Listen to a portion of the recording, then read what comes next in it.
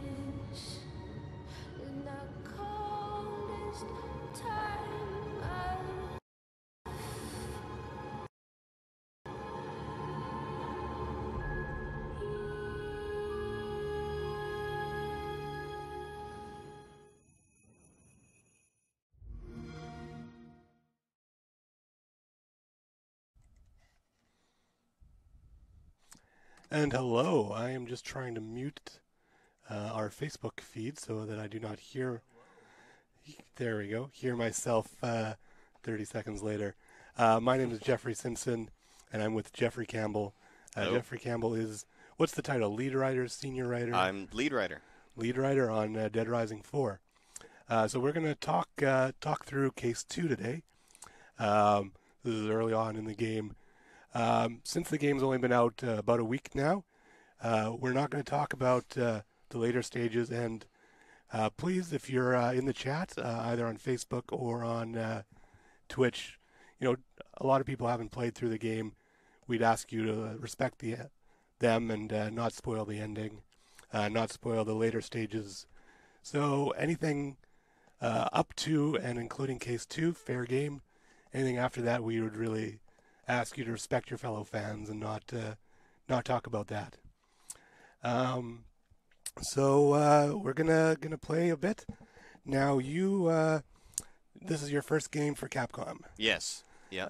Uh, Yeah. what, can you talk? Uh, just briefly mention uh, other games you worked on previously. So I was on. Uh, so I was uh, recently on Deus Ex. I was on Mankind Divided. Um, I was not a lead writer on that though. I wish I was just uh, just a flunky writer. Um, although I think I was their second longest of the writing team.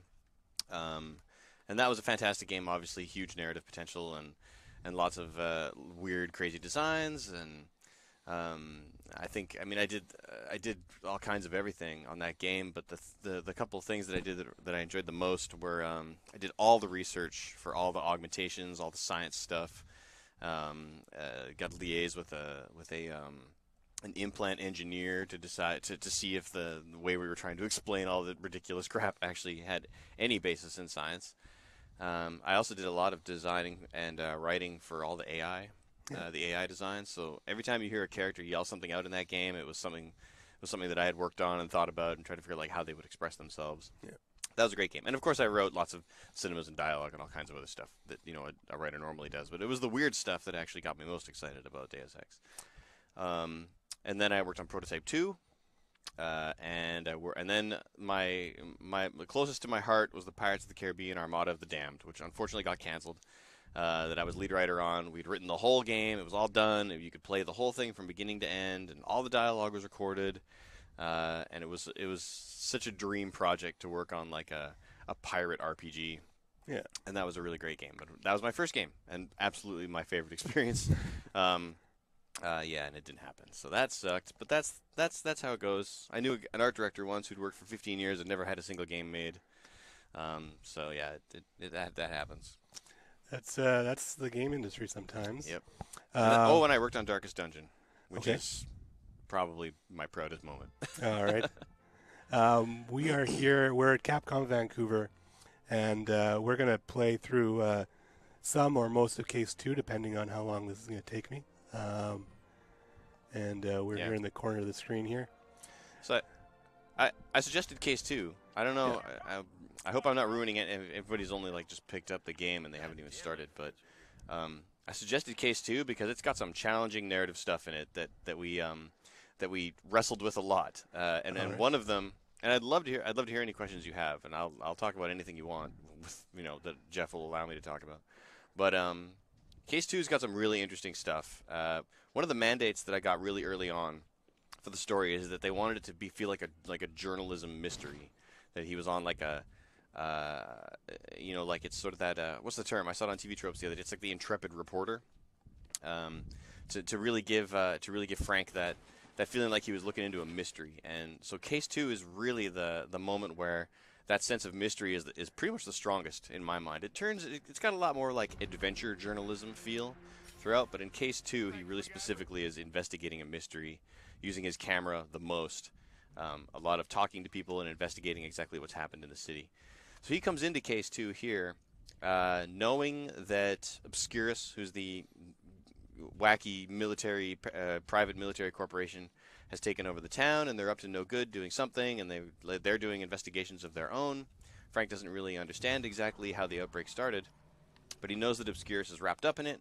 He also knows to a certain degree that they probably didn't cause it, that they were trying to they're also trying to figure out exactly what happened.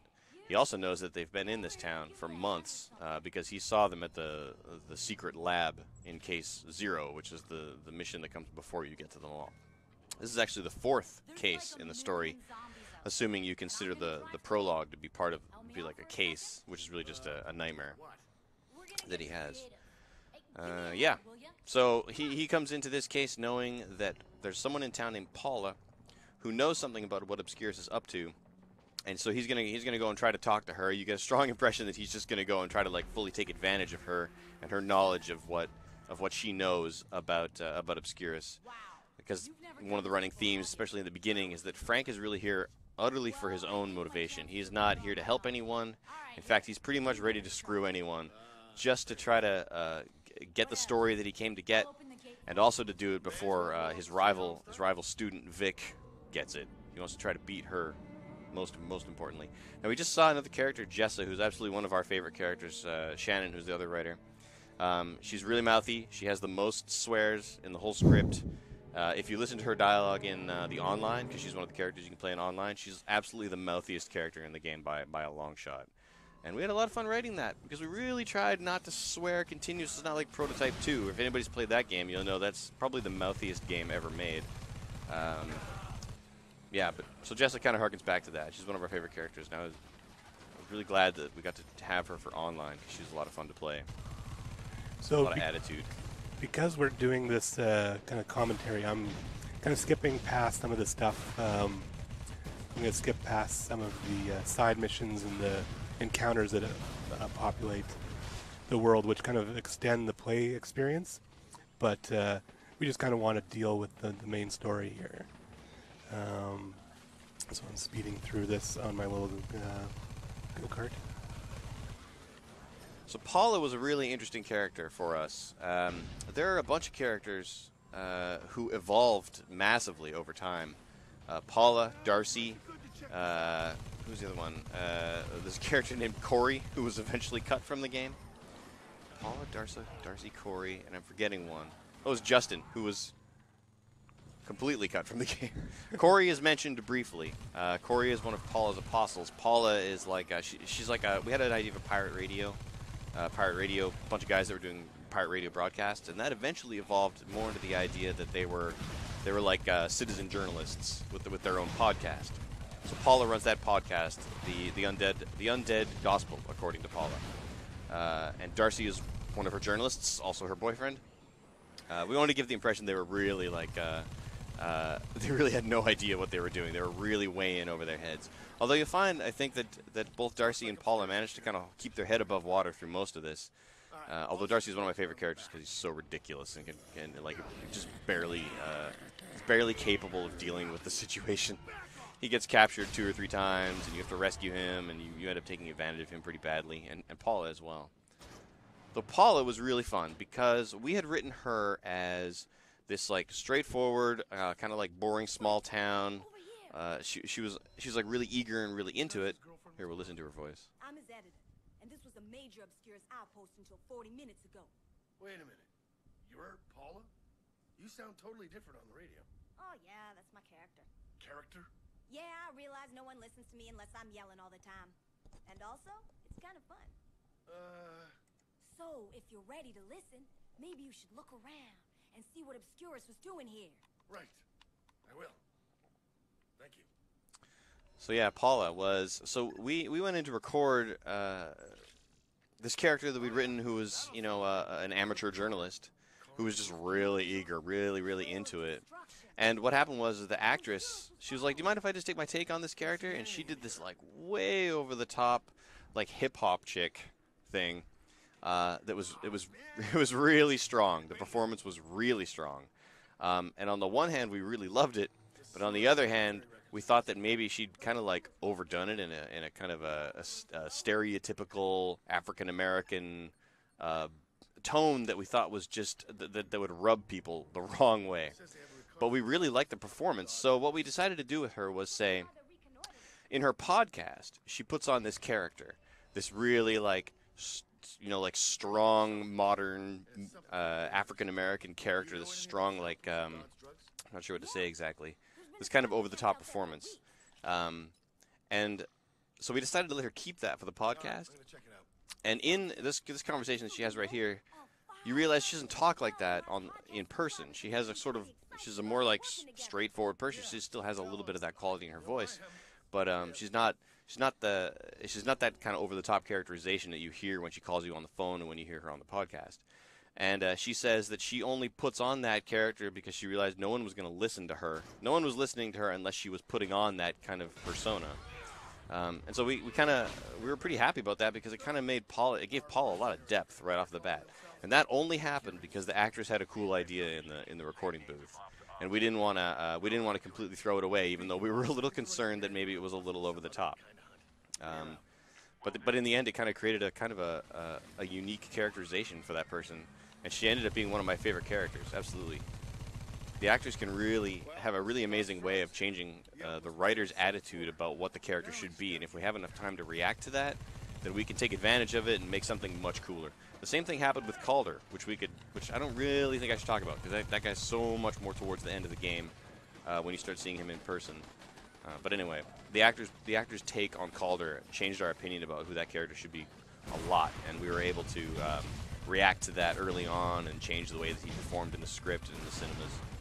Yeah, we can uh, we can do these again if this goes well. So uh, we can talk about uh, about Calder.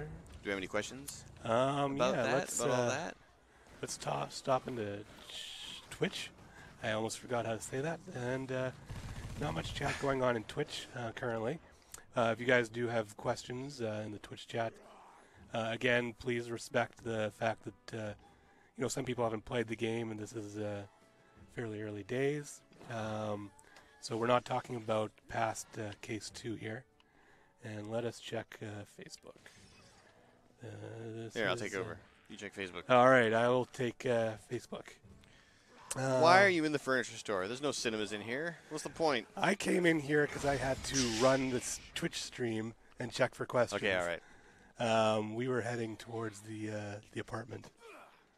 So he's already done the city hall investigation, Yes. and like as a, a narrative feature goes, uh, and by narrative feature I mean, you know, the, the the specific ways in which we can communicate story information. Mm-hmm. Um, the investigation was like a dream come true for me. It was, oh, I guess I'll keep the fire hammer.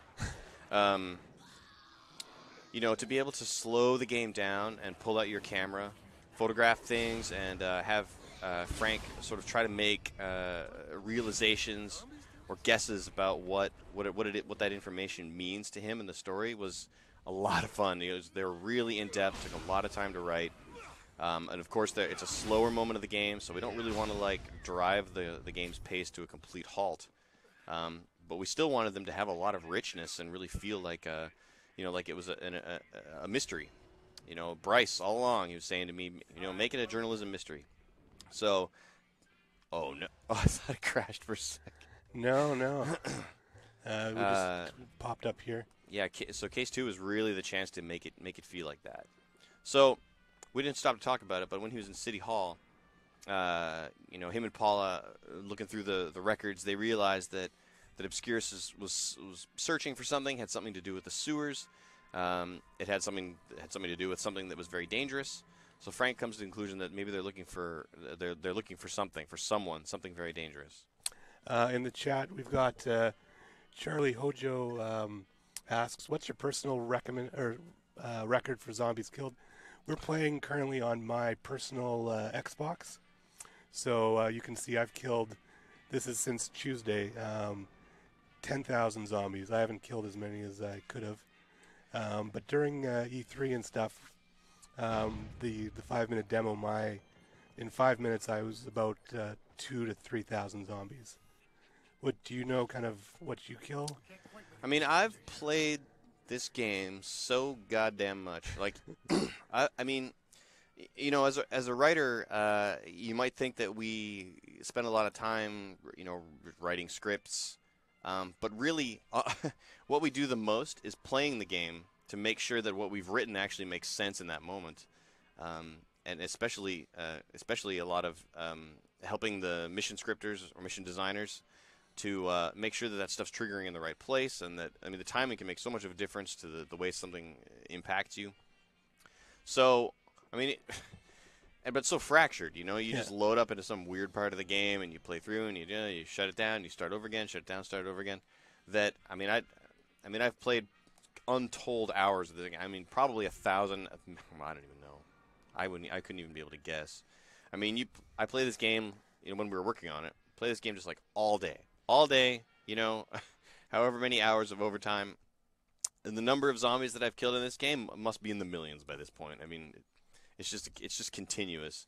That I'm only just now sitting down to play the whole game the whole way through at home, Yeah. um, and I'm not even. I'm handing it to my wife, and she's doing it. So I couldn't even tell you.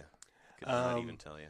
So a couple people are asking about uh, uh, bugs we've uh, we've seen, and we've had a few uh, reports of uh, different issues. The the shelter one's the one they're asking about.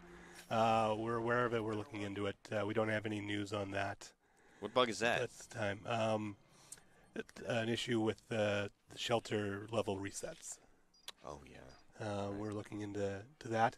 Uh, unfortunately, we don't have any, you know, firm announcement for that. Um, I am also the wrong guy to ask about that. Yeah, I mean, Extremely the wrong guy. you know, Jeff's uh, Jeff is the writer. He's not uh, involved in the, the bug uh, process. Now, one thing that's always, um, I think, is surprising to people is just how much text there are in modern games.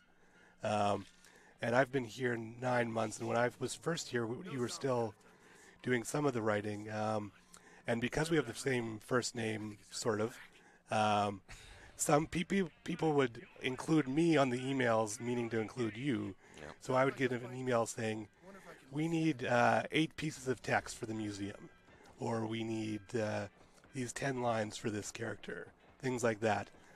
Do you have any estimate of uh, just how much uh, text you write for a game?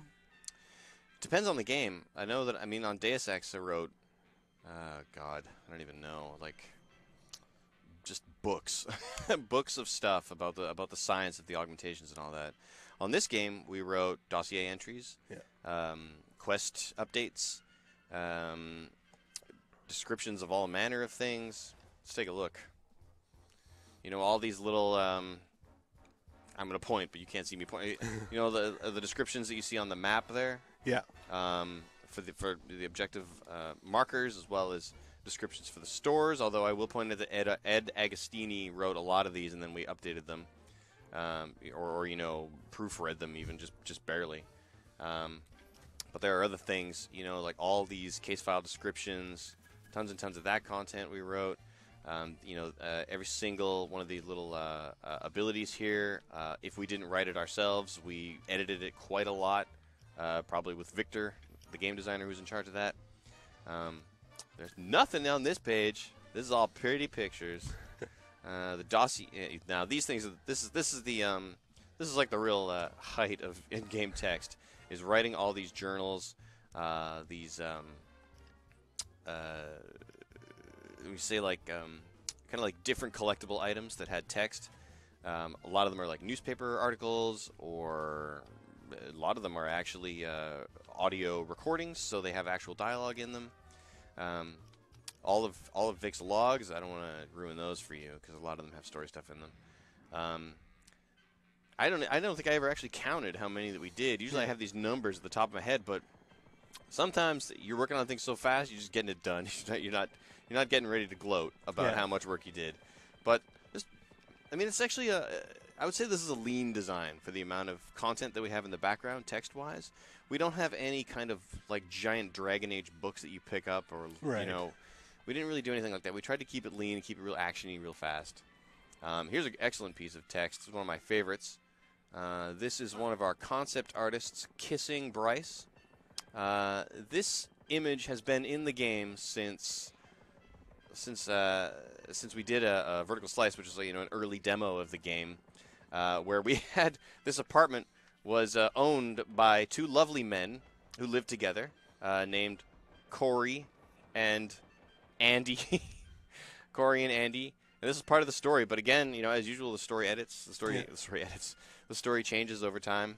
Um, this is yeah, this is Bryce, our executive director, um, and uh, John, one of our concept artists. Lovely photo. Um, but it, that actually was relevant in the story at one point, but now is no longer.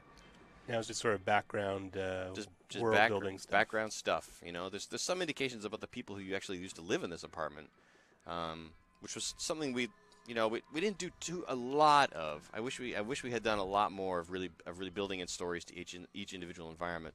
Most of that stuff that you get, that environmental story, is uh, is all in the collectibles. All right, I like the sweater. Yep. And the comfortable game designer shoes. Yeah, I don't uh, necessarily agree with the game designer sh- uh, shirt that uh, you find in the mall, which is kind of a purpley shirt. I don't necessarily think that's game designer. It's not appropriate because it's not extra extra large. Uh, we'll have to. The messenger bag, though, that comes with it is a good, uh, good uh, touch. yeah. All right. All right. Uh, no current questions. Um, is Megan's bat in the game from Walking Dead? I oh yes, Negan. Um, there is a baseball bat in the game. Um, it is not exactly the Negan type bat Oh. uh, that uh, that you see. I screwed up. I'm going back. You have to yeah, you have to listen to the radio. Talking and playing is uh, harder than you think. Talking about myself and playing is really hard. Um, the voice actor that you're about to hear um, edited his dialogue a lot, uh, actually adding in so so many mother effers that we had to do a lot of editing on this guy. Uh, and I don't remember why he ended up being Australian. We actually joked about this guy. He appears to be Australian, Latin American, Japanese. But you know, as the you know, in the way that stories go, stories and games go, things change a lot, and sometimes you just have to make do with what what you ended up with.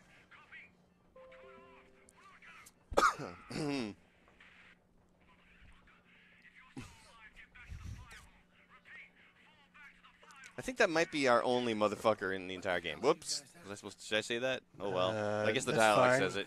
We, we started with an uh, ESRB rating. Okay, good. Good. Uh, Curtis wants to see some vehicle action, so we'll get to a vehicle. You got it. Where's a vehicle? If I get around. There Um, wasn't a vehicle there when I jumped down. I don't understand. So just a reminder, um, we've mentioned it a couple times. A lot of people haven't uh, haven't played through the game. Some people are just uh, watching this uh, for the first time. Uh, it would be great if you guys could not talk about anything past Case Two, which is what we're playing now, just to avoid spoiling it for people who either haven't had a chance to play through it yet or even pick it up. Um, You know, I'm really hoping that we can get up to the dam, though. Sorry, not the dam, but you know, a little bit before the dam, because Hammond is the character that I was really interested in, in talking about a little bit. Because that is a character that grew leaps and bounds uh, through the course of us trying to figure out what Frank's journey was. Um, the character of Hammond was initially a janitor in the mall, uh, harkening back to a character from Dead Rising 1. Uh, she was not a man uh, in the original versions of the story, but became one over time. Sorry, the other way around. became a woman over time, uh, and was not a black woman, but was a elderly white man, if I recall. Um, and uh, it's it's an example of of uh, a situation that I that I try to pay attention to and, and deal with often, which is trying to make sure that you've got you're not accidentally saying something with your characterization and their ethnicity and their gender uh, in a way that really gets you in trouble. Um, I discovered at one point that we had three Asian characters that were all villainous in an earlier part of the story, and in fact, all of the Asian characters were villainous in that in that particular moment in the story. So, uh, and what I ended up doing to make sure that I hadn't done anything like that, just to make sure that people didn't think for some reason we were saying that all Asian char- uh, Asian people were villainous or had a predilection towards being villainous, was I made this magnificent chart that had all the characters and all their motivations and their ethnicities and genders all kind of like mashed together. Um, and to see like what we were saying about our character, what we were saying about people with our characterization, and Hammond's Hammond's uh, Hammond's characterization and her her you know uh, stats such as her her um, uh, her like racial background, her age, her uh, gender, and all of that, all like swapped so many times. Not not just Hammond, but but almost every character swapped many times, except Frank, obviously. Um, so we could arrive at a situation where it seemed like we weren't uh, saying something nasty about any particular group uh, that we didn't want that we didn't want to say. We wanted to say something nasty about zombies and paramilitary groups, and we wanted to leave it at that. So yeah, it, it was just really interesting seeing that like matrix breaking down the characters, their motivations, who they were, what they were, you know, where, where they were from, what it seemed, what we seemed like we were saying, their accents, all, all kinds of stuff like that such a huge, huge deal when you're making a uh, when you're making a, a game in a game world like this. And, and I hate to say the p word, but when you're making a product, you're, you're making something that you want people to play and enjoy and feel good about. It's a it's a big consideration, and it took a lot of it took a lot of thinking and a lot of work with concept artists and character artists. Hammond is Hammond is a very is a really uh, is an exciting journey actually getting to who she ended up being, especially since uh, Frank is such a dick to her early on in the story, as many people have commented on. I've seen in in forums and stuff. I think Hammond might be my favorite character. I keep, I keep saying someone's my favorite character, and I keep changing my mind. Um, so what is uh, so Frank is obviously one of the few established characters in the game.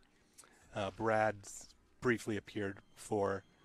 Um, you obviously we talked we did a stream um, for the 10th anniversary re-release of the original Dead Rising um, about you guys playing through the original game several times, kind of getting to know Frank and kind of figuring that out. What uh, how do you update Frank in terms of it's been 15 years um, in game time Mm-hmm. um, since uh, the first uh, outbreak of Willamette, kind of since the first game. Um, how do you how do you figure out where Frank's been and where he is today? We looked at the old games and extrapolated naturally. Um, we looked at who he was in Dead Rising 1, what his ambitions and his motivations were about, what he cared about. Um, we looked at OTR, even though I know that off the record is supposed to be off the record, but we looked at it anyway. Um, whether it's off the record or not, I think is a matter of debate. Um, we looked at Case West. Um, we looked at all these things, and we, we looked at there and we thought, what does what do all those things say about who Frank would have become?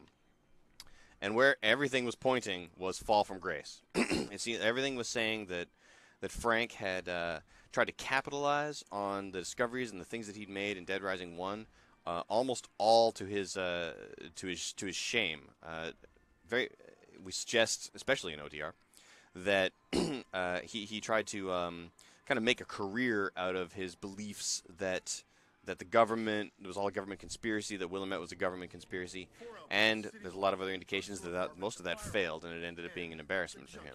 So we're like, okay, so this guy was very ambitious when he was he was a young guy, very ambitious about what he wanted to do, what he was hoping he would achieve as a journalist, and it all seemed like he'd blown it. It seemed like he'd messed up his chance. So we're like, so who is going to be the guy? Uh, and what we what we decided, who's going to be the guy for for Dead Rising 4? What is Frank going to be like? And we said the things that we really liked about him is he's got like a pretty dry sense of humor. Um, he does seem to actually really care about people. Um, but he's also very, very focused on, on getting the story, and he's got a little bit of that like paparazzo quality to him. So where we thought that he would evolve from there is the paparazzo would get would would uh, he would have been he would have been kind of embarrassed about that ultimately, and a little pissed off that no one had really believed him when he very well knew the truth but was unable to prove it. So we added a little bit of that like jaded quality. Yeah. Um, uh, you hear that when he's talking with Vic early on. He's talking about, um, you know, uh, I don't know if anybody's really noticed. I haven't seen anybody comment on it, but has anybody wondered about like why his camera was was in a closet and was locked away? She broke into the. She had to break into his closet to get his camera out. That doesn't seem like something that, that Frank West would do. Frank would have his camera like with him all the time, but we said that it was locked away. He'd put it away, and he also tells Brad that he'd quit because uh, the, the the outbreaks and his outbreak journalism had brought him nothing in his life. You see him teaching a, a night class at the beginning. Uh, it's a wedding photography class. I mean, like he's at the lowest point you, a photographer can be at the beginning of the game. Um, Vic only sort of tricks him into coming out, saying, he doesn't really think that whatever she's got is going to be all that interesting. But when he's out there, it is interesting, and he gets back into it. But then the way that she behaves kind of screws him over, and he goes back to being bitter and jaded, and he really just wants to quit. Um, what the, the, the hopes and dreams he'd had about about what his career was going to be like were not there anymore. So that's that's how Frank ended up the way that he is here. He's still that wisecracking guy, uh, but but he's even even a little more wisecracky because he's he's he's more pissed off about it. I mean, I think I'm sure people can sense that he's got a little bit of sadness in him about the way that his life and his career has gone. That that we tried to amplify to try to give him a place to grow from. Um, and the place to grow from that we put him at is he's he's only in this to get back what he could not get out of the, the first incidents of Willamette and the previous uh, the previous outbreaks to get that fame and that glory that he was trying to get last time that he didn't get that he that he, that he screwed up on. So that's why that that's who he is now. The, the wisecracking and the jokes are really uh, more an indication of the pain that he feels about how about how poorly he messed up his own career. I would love to hear anybody's comment on that because that was that was a big goal for me was to try to make him feel like he was going to do anything, he was going to screw anybody over just to get to get to get to get things going the way that he wanted in his life. All right, and uh, here, what is so? Video game writing is obviously different than any other type of writing. You go to a movie and it's going to be two hours long, give or take, and the writer has some confidence that the movie is going to play out in a certain order. Um, there's going to be a narrative flow. Uh, the character's not going to be dressed as a fire uh, firefighter or wearing a, a Servbot helmet. Yeah. Um, what the summer dress is my Yeah. my personal favorite. what is the uh, kind of how do you address the fact that as soon as a cus- as soon as a player gets the game, you really have They're no control mess it up? over Yeah. over how it plays. So like my first couple weeks when I was on the job, the first thing I started with was what is what is the what's the what's the tone of the story we want, and the unifying consensus is that it should be a little bit goofy to a certain degree. We shouldn't try to take things way too seriously. Now, admittedly, we do get kind of dramatic here and there with with uh, uh, especially the interactions with Vic, uh, and especially that college scene with Brad, where Brad kind of enumerates his failings and tries to tries to coax him out of out of uh, being a quitter. Um, but a lot of his, uh, but we wanted to balance it with that thing, with, with that quality of Dead Rising that we like, which is that it's really like a, it's just a goofball fantasy most most of the way. So Frank making lots of wisecracks and jokes about it, keeping things light the whole way through was, was something we really wanted. It also played in well to what we hoped was a sense that Frank is really like you know uh, a guy that isn't too proud of himself anymore, that he's a little bit self-deprecating now and then, like yeah, a little bit of that quality. So we so we wanted to keep it kind of light and goofy, even though you could sense at the core he's he's got some pain that he's dealing with. So yeah, that that's that that's how we tried to balance it. I mean the the desire and the request, you know, from the people in charge of the project were make it a journalism mystery about serious stuff. So that's that's what we tried to do. We tried to balance that, give him a good personal motivation, give him give him some darkness that he's dealing with, um, but also try to make sure that, that it, it doesn't seem completely ridiculous that he would that he's doing this kind of thing. I mean, now obviously you can't have you can't have a character in a cinema responding to Frank wearing all kinds of different clothes, dressed as a penguin. You know, we just can't do that. Yeah. So, like in classic Dead Rising fashion, we just kind of try to ignore it and let it be fun for when the when the player is when the player character is discovered, you know, wearing something completely ridiculous in a scene where they should be absolutely serious. Um, and that's that's just sort of where we left it. But we didn't want the we didn't want the the the feel of the story to completely ignore the ridiculousness. Yeah. And that was our goal. That was the goal. Where they hide their food. With that kind of It's a, So- it's a tough world to work in to make to make uh, to make all of our cinematic moments absolutely believable. Commander, I found this civilian messing around with one of our computers. And here we have Darcy.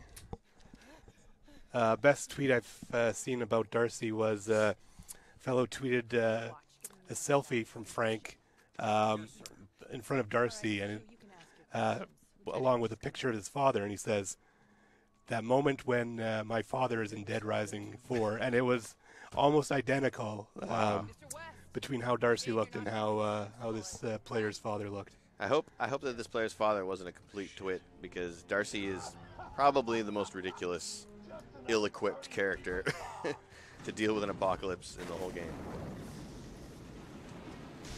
At least Frank's wearing something uh, fire retardant at the moment.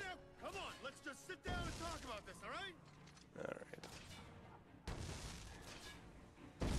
One thing that bugs me about games when I'm playing them a lot is that in uh, in really hardcore gameplay segments like this one, oftentimes the uh, the voice of your character completely disappears and is replaced only by the mechanics and the animation, and you have no sense of what that person is feeling or thinking um, during you know a hardcore moment like this. You know, I played Wolfenstein recently, the the remake, and everybody made a big deal about how great the um, you know the story was. Uh, the story was, and I agree. I thought the story was fun. It was really great and and uh, engaging in a lot of parts. And man, great sex. Whew. Can we do a game with sex next time, please? Um, but um, but then the character often just sort of like just drains away, and you, you don't get any sense of being a person reacting to what's going on naturally. So um, I always try to make sure that even in a battle like this, your character hasn't, Frank, for example, hasn't completely disappeared, um, replaced by nothing but a game of checkers that you're just trying to figure out. A lot of the time, too, we'll even uh, we'll, we'll write lots of comment or lots of dialogue for a character to deal with. You know, when an enemy's at like half health or something like that, or when he's reduced you to half health, um, and we'll have those you know be custom scripted in the moment. And sometimes we'll even write like five or six times the amount of dialogue that we actually need because we know that you're going to die, or we hope you will, um, in a in a, a mini boss fight like that or a boss fight. So that when you play it again, when you reload, you've got a little bit of new experience um, as the character says different things, stuff you didn't expect them to say, um, and the entire situation feels a little fresh to you every time. And that's that's like so cheap from the perspective of game development.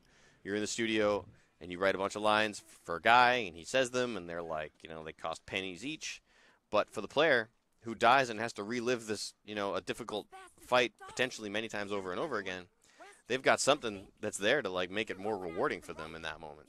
Dialogue is, you know, so cheap. uh, Just one or two or three or six lines it makes like no difference to the budget, but it makes a huge difference to the to the experience of the fight. I'll call you when I have something. All right. Thank you, Paula. I don't know if it actually ended up in the game, but uh, later on you find Paula and Darcy hiding out in a shelter somewhere, and uh, if you walk up to them, uh, Darcy, uh, Paula makes some kind of comment about uh, about uh, about Darcy being her boyfriend, and he's all like flabbergasted. He's like, "Oh, are we dating again? Oh, cool." And she's like, "Shut up! I'm trying it out." Or something. She makes some kind of throwaway comment about it. And I just love how smitten uh, Darcy is with Paula. Like she's some big wig, uh, you know, like she's some um, really important journalist, and he's just full. He's just like gaga for her. I'm not actually sure it's in the game anymore, though. We'll have to, we'll have to, we'll have to check. I honestly think it's some kind of zombie monster. Um, what other characters have you enjoyed uh, writing on this? I guess we can maybe talk a bit. Uh, do you have much to say about Brad? I mean, he comes in fairly early. He's, Brad, yeah. he's what, uh, aside from Vic, he's what pulls Frank into into everything. So Brad's kind of like, I mean, I guess if you want to get all hero's journey, but he's a little bit of the mentor. You know, he's the guy that comes in and says like, you really should go on this quest. You should really go and do this thing, uh, and gives him all the motivation he really needs. Comes and delivers him all that motivation. Um, and then throughout the whole rest of the story, he's he's sort of like your uh, your sounding board and, and a character that helps you make sense of what your next objective should be. Um, and talks through a bunch of stuff with you, and is also involved a little bit in Frank's arc, which I won't talk about because it really gets you know really gets moving a little further into the game, really more in Case Four actually. Um, but Brad is like he was one of our favorite characters from uh, from the previous games. He was in a he was a DLC character from DR3, um, one of the ones that people liked more. And if I recall, I believe it was one of Microsoft's requests about the character about the characters that Brad would be in it. So that was a really fun character to get to, to bring into the story. Now I actually really do wish that we'd involved him a little better. Um, he appears in the beginning and he seems to be really involved, uh, and he's also he seems to have like a pretty good pretty good insights about who Frank is and really what moves him and what drives him. Um, but then he kind of just fades away a little bit, and it's not it's not. I wish it was something that we had taken a little more time to figure out, but you know, as with most games, there's there's a very limited amount of time to figure out a lot of the very very broad story stuff because the cinematics team needs to get moving and the mission's got to get designed, and that takes you know a year, two years, um, and you you very often don't have a lot of time to figure out. certainly don't have like a, a, an award-winning screenplay's worth of time to figure out how you know how what what the plot beats should be and how they all work together beautifully. Brad is one of the guys that suffered, I think. So in the chat, Curtis asks uh, a question we kind of covered, so I'll just run through it quickly. Uh, Jeffrey did, uh, he was the lead writer on the Dead Rising 4. He had not worked on a previous Dead Rising game, uh, though he did the latest uh, Deus Ex. How do you say that? Deus Ex Oh, I I could not work there because I cannot pronounce it. or Day of Sex, as we used to call it. um, and some uh, previous other games. Um, but uh, this is his first outing as a lead writer on uh, Dead Rising. And Good uh, lord, what's the question with that preamble? Uh, no, that was uh, Oh, that was whether uh, who's this guy? if you're doing any more in the future. Um, and we're not talking about uh, kind of what's what's beyond Dead Rising 4. Uh, it's a little early for that. Um, Kevin asked if it's out for PC. It is. It's out on Windows 10, and you can get that through the Windows 10 store. And uh, yeah, here. Uh, let's talk. I was gonna not Frank. Uh, let's talk a bit about uh, Tom. Tom. Yeah. So Tom is leading a resistance or uh, kind of a group of survivors, anyway. Tom's definitely one of my favorites. Uh, he's another character that evolved quite a lot. Uh, well, actually, you know what? I'll say he actually didn't evolve as much as many of the other characters. He was always, uh, you know, like the leader of a survivor militia. Um, he was trying to put together his own kind of, you know, survivor utopia. Um, you learn a lot more about him as the story goes on. That he's got a pretty good motivation for being here. Uh, he's got a real dark mindset about how the new world order should be run. Um, man, his, his teeth are terrifying, aren't they? Sometimes. Um, it's funny we have maniacs in the game, and they they were they were our replacements for psychos, but Tom is the real psycho in this game. I mean, he's he's like, you know, uh, and he, he's the way that I would I would I would really like to do psychos if we had a future opportunity. Built up with a lot a lot of story, a character in his own right, a, you know, like a, a piece of the puzzle of the main story. Um, rather than kind of like an insert, which is what a lot of which is what the psychos felt like a lot to me in the past. I would love it. I would, and in fact, I think it's story's job to make sure that when you come up into a fight with someone, a boss, a mini boss, you've got a lot of reason to hate them, and you really you've got every reason in the world to try to rip their head off. Tom, you do, because he's a real bad guy. Especially from you know, in this scene, you get a real sense he's a sicko and a weirdo. Um, you know, he threatens us. He puts the axe right to our throat and holds our camera hostage, and and uh, you know, you can tell that he's a you can tell that he's a bad man early on. And our uh, mocap actor nailed it with the the body language here. Look at him; he's just like, ugh. It is Uh, creepy. I don't like that guy.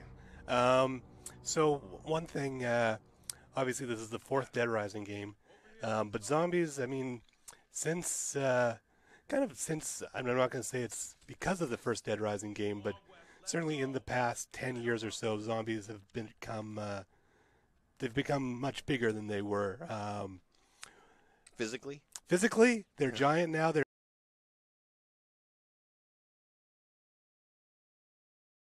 one thing uh, I've read, uh, or actually I heard it on a podcast interview with Robert Kirkman, is that he does not, uh, the writer of The Walking Dead, he does not play zombie video games. He doesn't read zombie books. He avoids zombies altogether, so that he's not influenced by other medium. Do you have? How do you bring fresh stuff to a zombie game when zombies are everywhere? They're on TV. They're in movies, and almost it seems everything you could do with a zombie has been done. Or well, we're lucky in that uh, Dead Rising has its own lore and its own way of how zombies came about. I mean, like I said, I just worked on Prototype 2, and those are science zombies, right? Um, Walking Dead, we don't really know yet whether they're science zombies or supernatural zombies, or well, we don't really know. I mean, they they, they take pains to make sure we don't know in that one. Um, but it really does seem like zombies fall into two camps: supernatural zombies and science zombies. We have science zombies, but we also have our own kind of odd twist on it, which which you know sections off our own little section of zombie lore, and and and we use that as our own. So that's something that I wanted to double down on: is make sure that we were using Dead Rising's own zombie lore and not trying to go out anywhere weird with it. Just trying to own what we've got and develop it just a little bit. Later on, uh, and I won't ruin it, but later on, oh, maybe I'll ruin it a little. Uh, later on, you find out that the story has quite a lot to do with Barnaby, who is a scientist from DR1. Um, that that is the guy who we say invented zombieism, although it's a little more complicated than that. Uh, but that's that's the shorthand that a lot of characters use to describe his his uh, involvement with zombies, um, and how uh, the parasites are involved, but how they like lodge themselves in your brain, about how our zombies are not actually dead; they're actually just people that are basically driven nuts. Um, yeah, and it that's I mean, uh, what what did I use for what did I use for my uh, my inspiration? I didn't I didn't really use much. I just I just owned what we had, what what the previous games had set up, and tried to build on that just a little bit um, to give us a new little interesting twist on on on Barnaby's uh, work and, and where they came from, Santa Cabeza, and, and all the science that, that, that, that was involved in that. Um, I thought that if there was anything, I mean, on the one hand, we don't have to rip off anyone else, and we, we didn't have to come up with something totally bizarre. We could just we could just own what we had. And that always seems like the best idea for me with an IP. I mean, if we've got something unique, we should own that. So that's that's that's why I wanted to go in, in the direction that we ended up we ended up going. Uh, one character we saw um, and actually talked to, but uh, didn't really get into, is uh, Isaac. Is there much? Uh, Isaac. Hang on, engineer. You're my golden and he, Ah. he's also in the co-op. He's one of the, the band of uh, survivors Yep. working with Hammond. We have four survivors that work with Hammond that are kind of like our good, kind of like our, kind of like our um, our allies, and that's Connor, who's the uh, the uh, guy we meet in the mall. We find out that he was working at the mall as a um, what the heck was he? He was like a front desk guy. I can't to Yeah, he was the at the right now. hotel uh, concierge. He was like the concierge at the at the mall. Although if you read his stuff, you, you see that he wanted to be the bartender, but they wouldn't let him. Um, you can read some of his drink recipes as well in the collectibles, and they're all really they sound really stupid. Um, we basically just had a lot of fun making fun of older hipsters with that character. Isaac is a poet and a butcher. Um, you can read some of his poetry in the collectibles. Um, there's also some hints here and there about his being a butcher. We realized we'd never decided where it was that he worked, so we decided that he worked at the sausage hut in the mall a little while ago. It's funny, Shannon and I uh, working on this, we, we realize often that we kind of have our own little head canon about what you know what all the characters are up to, um, and that that never actually made it into the game. so I have to be careful about what I say sometimes. Um, but yeah, then there's uh, who's the other guy? Jessa is uh, we, she was a mechanic.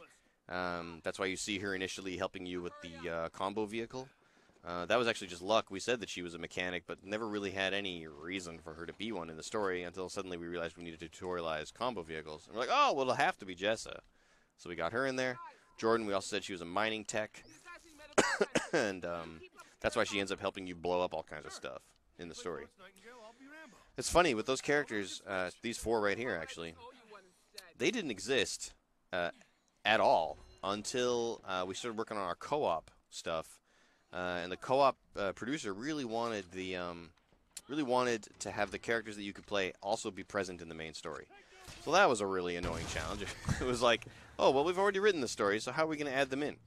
but they'd already secured the ability to um, to have four new characters designed. Um, so you know, most of the costs that you'd have to deal with with just coming up with a character out of nowhere were already dealt with.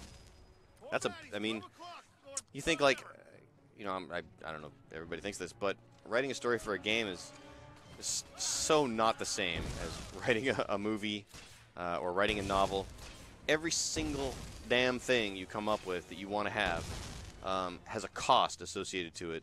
A cost in that we have to you know, we have to um, sometimes pay somebody. I don't mean an employee, but you know, like pay a, a voice actor to do that performance. We sometimes have to pay an outsourcer to make a prop or something that we need. Oftentimes, we need to make sure we even have an employee on hand who can actually do the damn thing that you're requesting. Uh, and of course, making a brand new character model is, is extremely expensive. Um, you know, a lot of the time, as soon as I start a game, the first question I ask is, okay, the most important thing I need to know, guys, is w- how many lines can we record? Because that translates into how many lines you can record in a single session of dialogue, which translates into a direct cost somewhere in the. Uh, Jody, will give me crap for this. I, you know what? I'm not going to say. Yeah. Um, somewhere in the vicinity of many thousands of dollars, um, usually for a half day session. Um, and we know very well how much money we want to spend on our voice recording. So that automa- you divide all that, that tells you exactly how many characters you can have in the story. Because a lot of time too, voice actors, depending on you know, d- depending on your contract with them, will only agree to do a certain number of character voices within a single session. So that that right there tells you exactly what kind of story you can make. Whether you're going to make a big, crazy, epic story with lots and lots of characters, or whether you need to make something really tight and controlled, like what we got with DR4. Um, we knew early on that we had, you know, a cast of characters that was not going to be like Witcher 3. It was going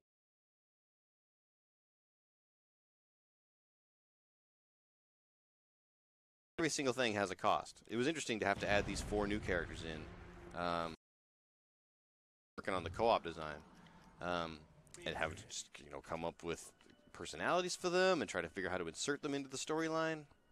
Was a huge challenge. Um, but they ended up being four really kind of fun characters, and they have a little bit of basis and uh, they have a little bit of characterization to help, you know, make the co-op feel like it was actually part of the story of Willamette and not just some kind of weird side thing. Like I don't know, you know, some games do. Far Cry. some games. All right, we're running here. Um, So that Hammond scene, I talked all the way through it. And I was that's the I thing. know. that's the reason I wanted to play this case. He's such a dick to her, and everybody was really concerned about that. You know, we did a lot of focus test on that on the earlier part of the game, especially especially case two, and um, a, a lot of people were like, "Ooh, Frank, he was really mean to her." You know, she tries. He he goes to her thinking that she's going to help him, and when she does help him, he turns around and abandons her and just leaves her there. The idea being that we wanted to present Frank as a guy who was mostly there for his own motivations, to try to get the story, um, to do his job, to win back the glory that he'd lost. You know, most of these are all really, really selfish reasons, and that that's the the strongest presentation of his selfishness that I think we have in the game. And it really bothered a lot of people, and it worried a lot of people on our team, and um, but we never really got to a point where we thought it was too much. Um, so we just left it. Just like, yeah, our main character's being a real jerk to someone who's apparently a very nice person, and that's clearly not a way to make a character who's likable. It's funny. I read a lot of the press, and even though a lot of the press is very positive about Frank, they often do say things like, "He's not very likable." Although I enjoyed playing him a lot. Um, they're uh, definitely talking about that scene with Hammond. So um, while it was, I think, not conventional uh, and, and certainly risky to, to have our main character be such a jerk and be so selfish and even endanger other people that appear to be good people. Um, our goal was to try to show that Frank was imperfect and that he was flawed and that he had things he needed to improve about himself. Um, and judging by judging by the reviews, the way people respond to Frank, um, it, it does seem like it seemed like we achieved that. And even just now, I still feel nervous talking about it because it's it's not a thing that you do to make a character likable. Of course, the desire is always, you know, to to just make your character cool and make him really likable and like he's got all the right things to say all the time. But that does not create characters that people really enjoy seeing. People really actually do enjoy seeing people who sometimes are total fuck ups and do things the wrong way and don't don't don't think about things the right way and you look at them and you just shake your head like oh what an idiot god what a jerk um, but that also makes us smile and makes us like them better especially when we can kind of sense that there's going to be an arc for them that they're going to change and develop and become a better person which is exactly what happens with frank I'm, hammond is the vehicle of that to a certain degree I'm glad I played through this case earlier today because I spent, considering I'd played through it before uh, a couple weeks ago, I spent a obscene amount of time in the dark here trying to figure out where the light switch was. Uh, it's right there for future reference. Uh, Darcy. Uh, Hammond is Ah, also, Darcy. Uh, along with Brad, I'd say one of the most competent characters in the game. Uh, do you think that's a fair assessment? darcy Yeah. i mean Or sorry, not Darcy. Hammond. Hammond is utterly the most competent. Um, we don't. I don't think we ever say it anywhere. I'm not sure, but our our background for her is that she was in the Navy. She was a Navy engineer. She states that she was a city engineer, um, but if you look closely, she has Navy tattoos on her arm and some cinemas where you can see her see her skin. um, she's absolutely built for this kind of situation and is a much better leader than Tom. Tom is a selfish tyrant, uh, really all about like building himself up as a king. Whereas Hammond is just all about like, let's get the crap out of this place, and actually leads the people out. If you read the collectibles and stuff, she's presented almost as a superhero sometimes. Um, yeah. Darcy is utterly like close on the heels of the Hammond scene. I can show you where.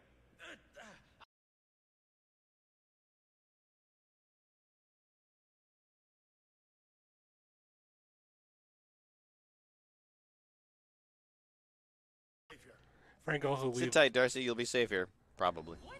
Frank also leaves And Franklin's tied up too.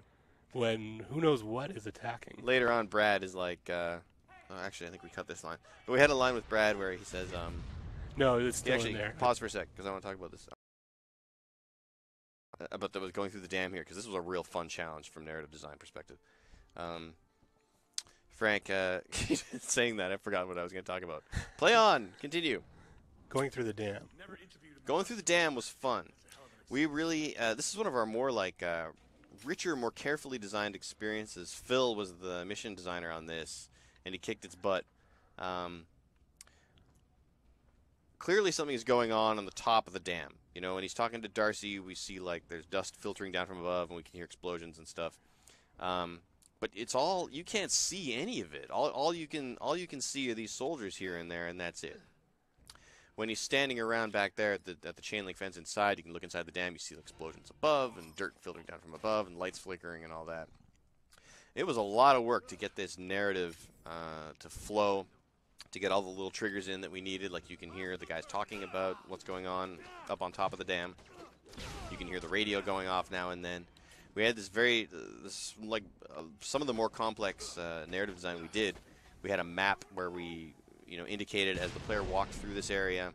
You would hear this little bit of dialogue or this little bit of dialogue or like this audio would trigger here and there. Um, it's actually more of an FPS level, really, uh, than, than we did anywhere else. And it really, uh, it really, uh, it's just, it's all just really like kind of tightly done. We thought about the duration of dialogue and how the player would be able to hear all the things that were going on. Uh, and Phil got it all in perfectly and designed it all perfectly to fit. Um, and it actually generates this real feeling like something exciting is going on up there. Uh, and it's really good. It's really a testament to how how how well you can use just like a couple lines of dialogue here and there to really give a sense of, of danger and excitement about what's going on, even when virtually nothing is going on. Like if you're walking through a hallway shooting a bunch of guys.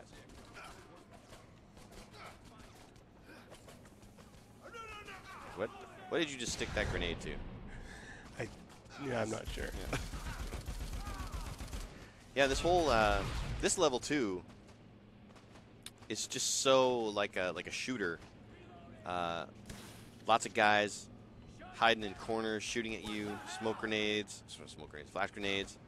Um, This is the worst gun. that could be. Uh, there we go. This is much better. this excites this whole bit excites me because I've, I'm a big shooter fan too. You know, like I'm playing through playing through Mankind Divided right now and totally loving it. Um, yeah, it's a it's just a tense sequence through here. All right. guys popping out from places you don't expect them to be, and little tight, little tight quarters, which is, you know, for a, for an open world game, we do tight quarters combat really well. And these jerks with the shields.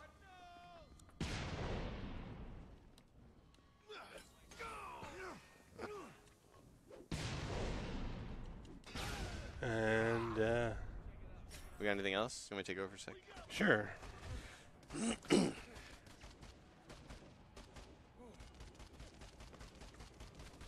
Walk in there and wail on these guys? You can if you uh, think you can pull it off. Oh, I won't cheat with the Blambow. I know.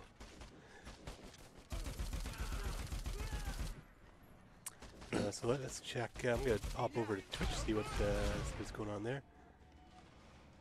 And Facebook. Bryce is going to be mad at me for saying I'm cheating with the Blambow. you know, our combo weapons are great, obviously. Yes. The huge spectacle of them. Um, but, you know, I'm, I'm not a- anywhere near uh, being involved with the people who really work on our combat design, but I really do enjoy uh, also the, the basic weapons. You know, the really the simple stuff like a baseball bat. Uh, the the submachine guns are great because they're just so out of control and crazy. Um, and when you run down, you get down to nothing but having a knife, and it just suddenly gets really tense. Like you feel like there's no way I'm going to survive this. You know, having you know playing through and testing the game lots, you don't get a lot of time to actually use the combo weapons. So it's probably probably part of what uh, makes me feel like I love just using a fire axe sometimes. And Here we go. Um, so Lieutenant, uh, this is his big, uh, big scene. He doesn't really. Does he even have dialogue in the game? Uh, he has little. You hear him on the radio a lot. um, his voice is on the radio is a lot of what this case two about letting us know what's going on with their search for the monster, which we presume is what they've got in this safe. um, You've got him in the fireman's outfit. Yeah, I would have. Uh, I would have changed if I had a, a chance to find a mirror. We needed a needed a mirror in the uh, in the dam's locker room or something. Um, yeah, so this guy's na- actual name is James Caballero. Caballero. He's Japanese, and he has an Australian accent.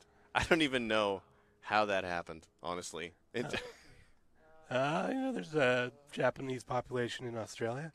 I'm, Uh, I'm sure. I'm sure. What? Uh, which character was the hardest to write for in the game for you, anyway?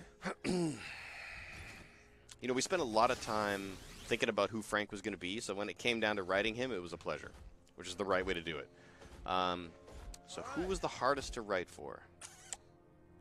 Calder, definitely. Um, he was an unusual, uh, an unusual character in the beginning. Uh, as, let's not talk about Calder because I, I, I have to give details of the plot away uh, in order to uh, in order to talk about why he's difficult to difficult to write for. Um, who was difficult? Initially, I found Hammond a little difficult because while while we had while she had a really great role in the story, being the guy, uh, being the person that kind of um, takes Frank out of his selfishness, uh, just just just by being who she is, not not because she thought he needed to be a better person. Like Brad, you kind of get that sense from Brad sometimes. Brad's trying to trying to dad him into being a better guy, um, and, and sort of like you know pushes his buttons now and then to try to make him a better guy. Um, but Hammond, we didn't really know what her characterization was supposed to be initially. Um, and ultimately, she just became kind of like that good person, you know, like the, just the kind of like heart of gold will help anyone. Oh, I do not like this fight; it's too hard. I sound like a wuss saying that, and everybody's saying that. To a certain degree, the game's too easy, but I actually find this fight difficult. Just uh, Sure, went through a lot of iterations as we were working on it. Um, this this playthrough, I'm on uh, case five already, so Frank's been leveled up a little bit. So Okay. Things oh, are- he's 57. Okay, cool. things are a little. if I easier. die now, I'll look like an idiot. Things are a little easier than they would be on a uh, initial playthrough. What is it? Oh. Using the hooks. That guy died so hard. His his his leg fell out of the exosuit. Which uh, I've got a question. We've got a question in the chat. I'm going to kind of reshape it a little bit. Um, is there a quest uh, character that you found wasn't quite working and you had to kind of um, alter them and kind of re re retool them a bit? We're gonna do like a big change on. Yeah. Yes, Vick. Vick was challenging. Um, we didn't feel like we had trouble writing her. we didn't feel like we were having trouble. Uh, but in initial focus tests, people hated her. Like people just like people didn't think, oh, you know, she's a she's a, she's she's a tough as nails young reporter who is a little naive and stuff. They thought she was a real villainous jerk, um, and it was not going the way that we wanted it to go. People really disliked her. Um, they, they, thought that she was, um, you know, they didn't dislike her like you dislike a villain or like she's not supposed to be a villain. They didn't. They disliked her like I don't like hearing her voice. you know, um, I don't like hearing uh, her attitude or her, or her personality. Um, we had to rewrite all of Case Zero twice, I think, to make it work. Um, and it, the focus test went from went from I hate her to death, like kill her, make her die, remove her from the storyline, to um, hey, I really like her now. She's a lot of fun. The storyline, like she was really holding back the storyline to a certain degree. The story was not not receiving good reviews from the focus test early on. Um, but as we fixed Vick, oh, I missed it. Damn it. As we as we improved Vick, the the result the response to the story overall increased massively, um, which makes sense because you know she's kind of like the Frank's problem, right? Like, you know, she's a lot of what he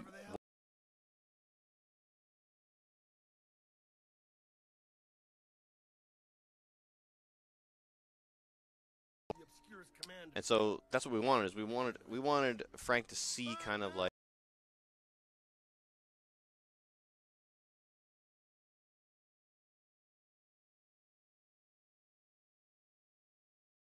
Yeah. um, that's what we wanted Frank to see in her. And then over time, through talking through, de-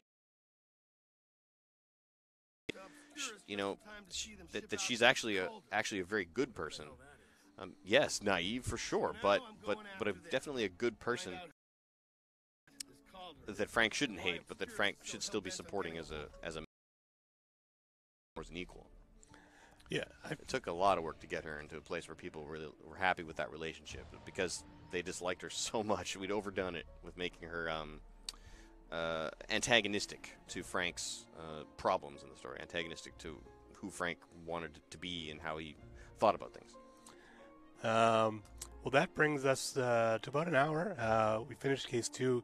We went really quick. There's a lot of side content uh, we could have done. We could have done a lot of the uh, the events. We could have kind of explored a bit more uh, but we wanted to get uh, get to Hammond and then get through the fight um, as quickly as possible. So it was, you know, uh, let's call it an incompetent speed run. Um, Yeah.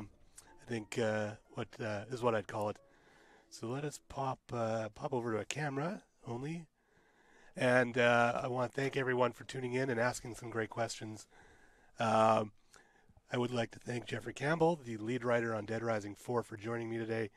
Uh, you know, I've been playing the game and doing streams on my own, but it's great to get uh, some of the dev team in here and uh, leading up uh, probably a bit after Christmas because people are starting to take a break. We've shipped the game and there's still work going on on Dead Rising 4, but uh, a lot of people are taking an opportunity to take some time off before the holidays.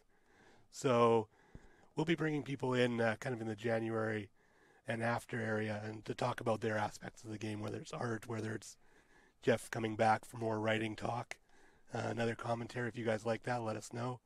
And uh, We'll yeah, get- we'll we'll have to get Shannon back in.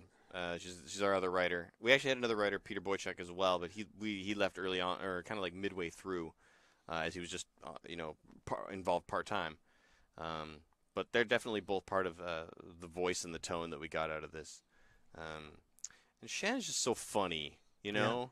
We need to have her on basically every podcast or uh, every uh, stream. every stream. I mean, she's uh, we're we're spending a lot of time playing Mass Effect uh, 2 uh, with Shannon on Fridays uh, every so often. But uh, thank you everyone for for tuning in today. Um, let us know if this is the sort of stuff you want to see more of uh, from the team here at Capcom Vancouver, and uh, we can definitely do our best to bring uh, bring you kind of inside insight and these kind of directors' commentaries, writers' commentary type stuff. Um, so yeah, thank you very much. I'm going to leave you with a trailer, and then uh, you're on your own. You're free to go. Go uh, play the game. Thank you. Thank you.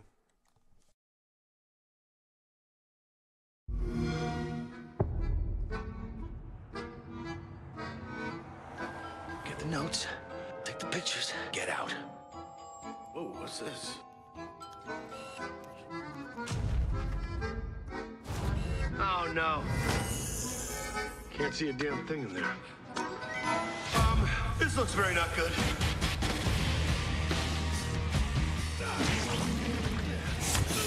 Hold that phone. Looking good. This outbreak is almost certainly some kind of test. It's probably run by these military jerk-offs.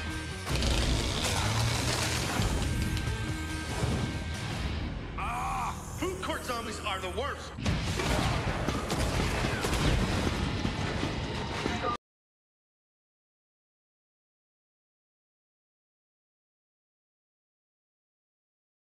Plan.